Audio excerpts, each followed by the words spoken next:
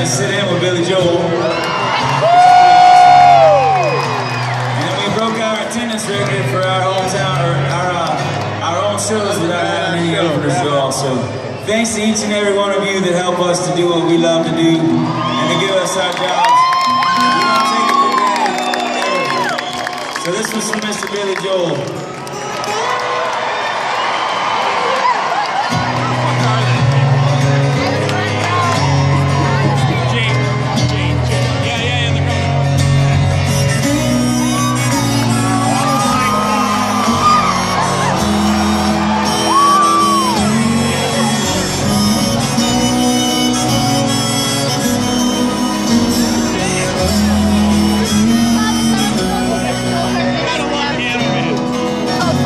It's nine o'clock on Saturday, and the regular crowd shuffles in. There's an old man sitting next to me, making love to his tonic and gin.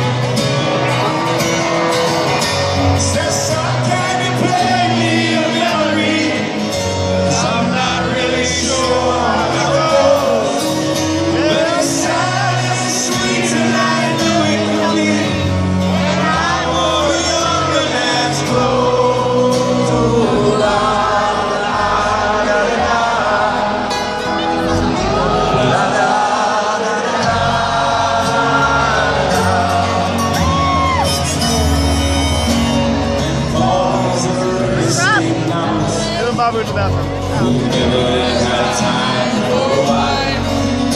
And he's talking with David, who's still in Navy, and he.